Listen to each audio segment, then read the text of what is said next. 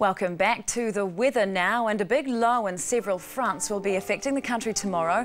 The North Island clears in the afternoon as a pair of fronts head east, but behind the front, moving up the South Island, is a cold southwesterly change, which will get to Christchurch by evening.